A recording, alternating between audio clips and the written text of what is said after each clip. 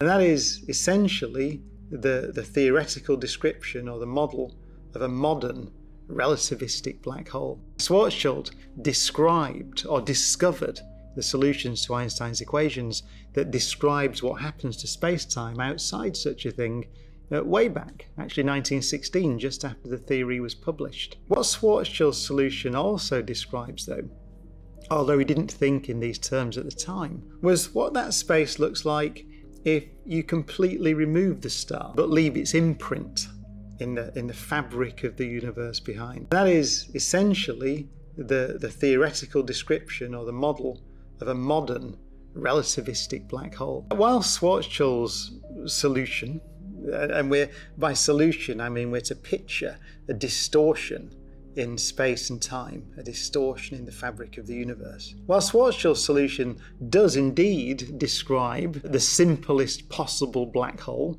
that we can model in the universe, people didn't really think in those terms at all until later. You see in the 1930s, Einstein and a colleague of his, Rosen, for example, exploring that space-time and building models of what that space-time might look like.